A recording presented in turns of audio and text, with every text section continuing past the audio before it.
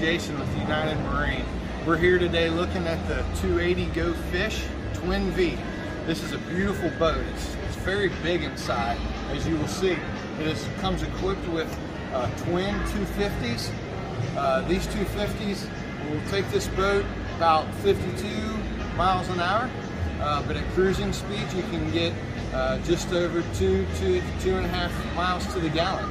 Uh, this boat with motors weighs in at about 8,500 pounds and uh, only drafts at about 20 inches. Uh, this is a great boat as uh, you will see. Let's step inside. On top of the boat you can see this is very big. Look how big the uh, swim dive station is. You can easily cast nets, fishing poles off of here. Is a great place uh, for people, for families even, not just fishermen, but families as well. We have freshwater wash down. Inside, at the bottom, we have the raw water wash down. The uh, openings as you get inside, you'll see to the bilge pumps are very massive, easy to get into. I've actually been able to crawl into those if you need to get into the bilge pump. Right here we have a nice large live well that you can look into, glass top with bait station, tackle boxes. We have six rod holders as well as cup holders and rod holders along this sides all the way up. As we come farther up into the boat, you'll see this has a really nice big T-top. Lots of coverage we need to get out of the sun. We step forward, continuing with the thought of fishing. We have more storage. One, uh, one here, one on the other side. It holds um, tackle boxes, plenty of places to put knives, other things that you need. In the gunnel, we have a place for rod holders. Beautiful area right there. As well as, show you the fish box comes equipped on each side.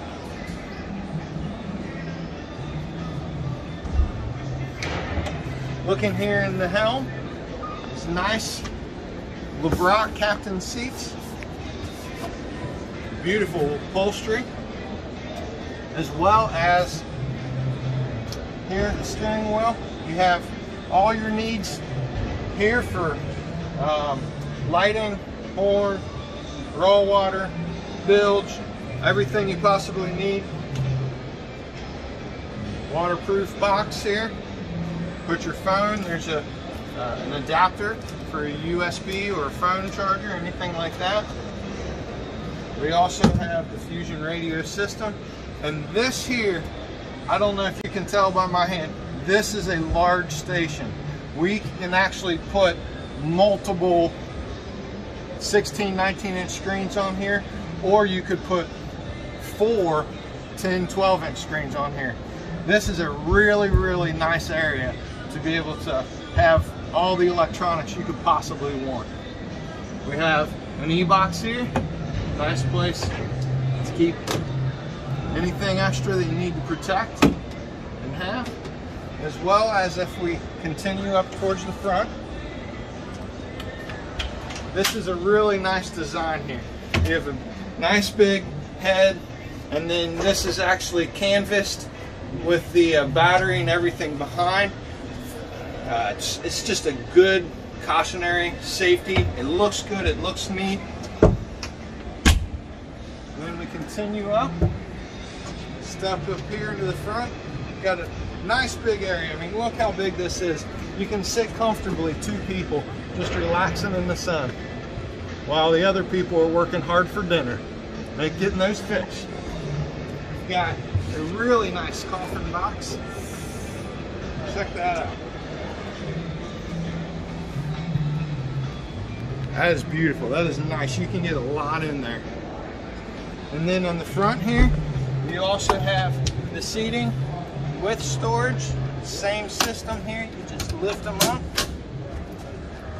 More storage. One there, one over here. Wonderful. And then to finish it off here up front, you have your anchor as long as as well as two storage compartments, one on this side right here. Um, again, with as many of our boats, this is comes on the float on trailer, and we like to have the ladder on the front. The ladder is a very nice thing to have when you are at the dock, when you're loading, unloading. And uh, contrary to what people may think, this boat, even at its size, 28 feet with a 9.6 beam, this boat is very easy to dock, get on and off. Um, because of the design of the trailer, it just goes in, catches its spot, boom, you're up, you're out, no problem. So here we are. This is the 280 Go Fish. Hope you enjoy.